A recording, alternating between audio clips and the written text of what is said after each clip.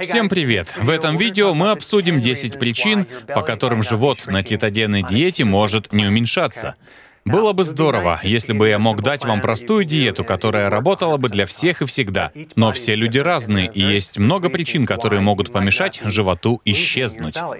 Начнем с номера один. Вы что-то делаете не так.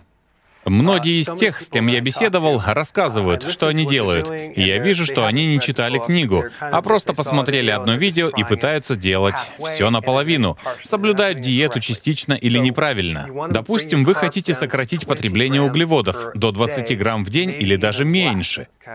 Если у вас очень медленный метаболизм, если у вас сейчас менопауза, и вы уже перепробовали много диет, вам нужно ограничиться 10 граммами углеводов в день. Вот такой уровень вам нужен, потому что нужно учитывать медленный метаболизм. Белка нужно немного, от 85 до 170 грамм в день. Нужно есть много зелени. Что касается жиров, в самом начале вам придется есть больше жиров, чтобы продержаться от одного приема пищи до другого. А когда привыкнете, придется снова уменьшить количество жиров, потому что нам не нужно, чтобы тело сжигало жиры из рациона, превращая их в кетоны. Пусть оно делает это со своим жиром. Придется снизить количество жиров, чтобы в ход пошел жир тела. У меня море видео на эту тему, смотрите описание. Это номер один. Два. Вы не соблюдаете интервальное голодание, а лишь сидите на кето. Так ничего не получится, потому что каждый прием пищи стимулирует инсулин. Поэтому интервальное голодание значительно ускоряет получение результата и снижает инсулин. Поэтому это сочетание так важно. Интервальное голодание очень полезно по ряду причин. Но это отдельная тема. Сочетайте кето и интервальное голодание. Сначала ешьте три раза в день, постепенно перейдите к двум, сдвигая завтрак вперед до тех пор, пока утром не будете голодны. Потом объедините обед с ужином в один прием пищи. Это идеальная картина. В итоге вы сможете оставить один прием пищи в день, если ваш метаболизм очень медленный и или у вас медленная щитовидка. Вот к чему нужно стремиться на этом этапе. Номер три. Диета работает, хотя кажется, что это не так. В начале кето-диеты многие люди очень сильно худеют, а потом внезапно похудение замедляется, и они думают, что диета не работает. То они худели на полкило в день, а теперь на полкило в неделю, и расстраиваются, что диета не работает. Очень здоровый человек худеет максимум на килограмм в неделю. Мне жаль, но таковы факты.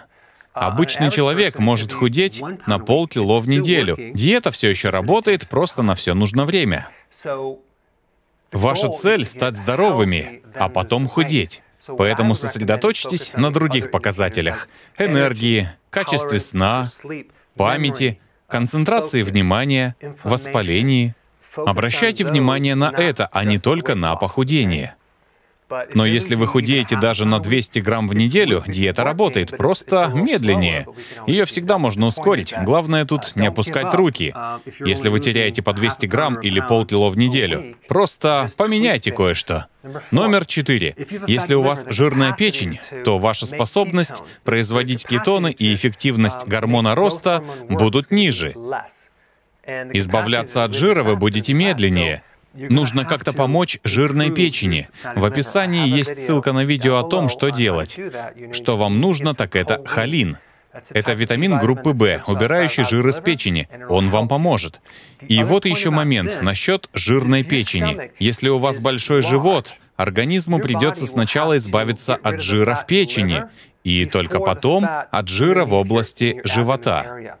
Так что, знаете, даже если живот не уменьшается, ваше тело все равно сжигает жир. Просто ему сначала нужно убрать жир из органов, а только потом приняться за жир вокруг них и жир на животе. Я затронул эту тему, потому что такое встречается очень часто. Тело сначала займется жиром в печени и вокруг органов, и только потом другим жиром. Номер пять. Вы набираете мышечную массу. У женщин в период менопаузы многие мышцы часто бывают атрофированы. Это потеря мышц. Выглядит как жир, но на самом деле это атрофия. Проверить можно так. Сядьте на стул, а затем встаньте. Если требуется много усилий, поскольку квадрицепсы мышцы бедер ослабли, значит у вас атрофия. Поэтому вам придется вернуть мышцы, пока вы на интервальном голодании и кето-диете. Мышцы плотнее, чем жир, они тяжелее. Так что объем талии может не уменьшаться, хотя вы становитесь сильнее. Я хочу подчеркнуть, что нужна очень здоровая диета и примерно год или два, чтобы вернуть мышцы упражнениями. Так что за неделю-две этого не случится. Работать придется долго. Да, приятного мало, но нужно учитывать этот факт. Вы вернете себе мышцы, но не сразу, ведь атрофия — серьезная проблема. Это не шутки. Можно сказать, что ваши мышцы практически исчезли. Номер шесть. Вы тренируетесь неправильно или не тренируетесь вообще. Упражнения не самое важное в деле потери веса, но они стимулируют гормон роста, тонизируют мышцы и немного помогают сбросить вес. Это важно. Высокоинтенсивные, недолгие упражнения. Лучше всего короткие, интенсивные подходы на все тело. Если можете бегать спринты, это было бы идеально.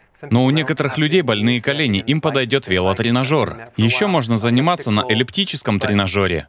Но многим людям придется начать вообще с ходьбы. Это будет первый шаг. Делайте, что можете, постепенно повышая нагрузку. Номер семь. Если у вас вздутие от непривычных овощей или от избытка жиров или чего-то еще, потому что у вас недостаточно желудочного сока или желчи из желчного пузыря, то живот может оставаться большим. Когда у меня была своя практика, у меня были пациенты, которых пучило из-за пищевой аллергии. Другие ели кейл, и они неделями страдали от вздутия — они не могли взять в толк, что не способны переварить эту пищу. Возникали запоры. А как похудеть, если у вас запор? Итак, нужно есть пищу, которую вы можете переваривать. Обычный листовой салат. Его, пожалуй, переварить легче, чем шпинат или другие овощи. Так что выбирайте, какие овощи вам есть. И следите, чтобы не было вздутия. Возможно, вам поможет яблочный уксус. Бетаина, гидрохлорид, добавка для желчного пузыря. Номер восемь. Прочие проблемы со здоровьем. Допустим, у вас проблемы с щитовидкой или другие гормональные проблемы. Может, у вас происходят приливы или, ну не знаю, проблема с сердцем. Разные проблемы со здоровьем могут не давать вам худеть. Потому что, становясь здоровее, тело порой решает сперва другие проблемы и лишь потом начинает худеть. Так что я предлагаю сначала укрепить все слабые звенья в организме. Допустим, вы пытаетесь похудеть, но безрезультатно. Где в вашем теле самое слабое звено? Это щитовидка, это надпочечники? Исправьте это и затем посмотрите, что будет с весом, потому что сначала здоровье, а потом уже похудение. Номер девять. Лекарства. У многих лекарств, от антидепрессантов до статинов и лекарств от холестерина, есть побочный эффект. Они мешают сбрасывать вес. На самом деле, много побочек от этих лекарств связано с усилением инсулинорезистентности и повышением инсулина. Вам придется поговорить с врачом и поискать какие-то другие лекарства, возможно, что-то натуральное, что вам поможет. Это нужно обсуждать с врачом. Но лекарства могут помешать вам худеть. Прогресс из-за них будет медленным. И еще кое-что о лекарствах. Если показатели крови у вас в норме, а врач требует приема лекарств, найдите себе другого врача. Ведь вы не должны принимать лекарства, когда они вам не нужны. Номер 10. Стресс и нехватка сна могут очень плохо сказаться на уменьшении живота. У меня есть много видео о техниках, которые можно применить, о том, что можно делать и что есть, что принимать, чтобы снизить стресс.